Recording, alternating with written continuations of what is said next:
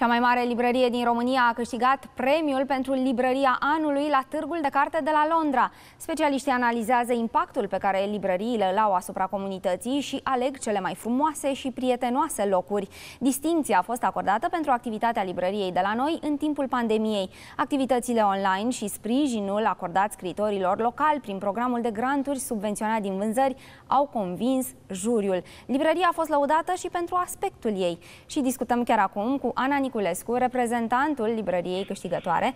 Ana, bună dimineața! Cum ați reușit asta? Ce înseamnă acest premiu?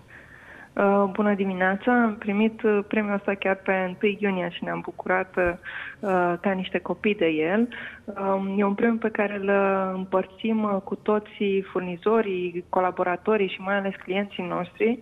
Un premiu care vine după un an foarte dificil în care anunțam închiderea tuturor librăriilor cărturești pe o perioadă nedefinită, um, majoritatea colegilor mei intrau în șomaj tehnic, pierdeam 90% din vânzări, veneam după investiții masive în deschidere de noi librării ce a însemnat pentru noi, a însemnat uh, după perioada asta de incertitudine accentuată că uh, am reușit să ne regrupăm și să ne concentrăm pe ce a fost important pentru noi din totdeauna, și anume relația cu clienții.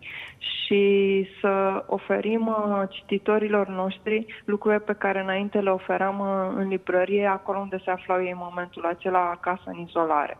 Și atunci am, am creat uh, programe în social media de tipul Întreabă un librar, prin care cititorii puteau obține sfaturi de, de lectură de la uh, librarilor preferați. Am căutat să le oferim în continuare selecții de carte relevante, cum ar fi raftul părinților care lucrează de acasă, V-ați adaptat raptul. cu totul, Ana, pentru că ne exact, amintim momentul da. din martie, din timpul pandemiei, în care ați anunțat că, din păcate, nu mai faceți față și trebuie să închideți. Foarte exact. scurt, acum, la final, care e secretul? Pentru că ați trecut de la agonie la extaz într-un timp foarte scurt.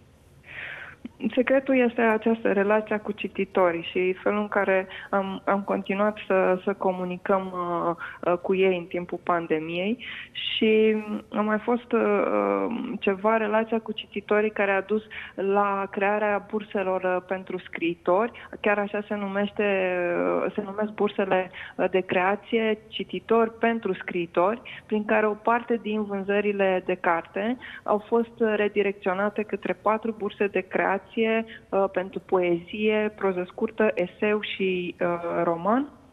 Uh, și uh, uh, patru scriitori au avut posibilitatea să meargă timp de o lună în, patru vile, în uh, două vile superbe, în Conacul Golescu și în uh, Conacul de la Țipănești și să poată scrie acolo uh, în uh, liniște. Să poată crea în continuare. Ana Niculescu, exact. mulțumesc foarte mult și mult succes în continuare. Solo Spot acum la Antena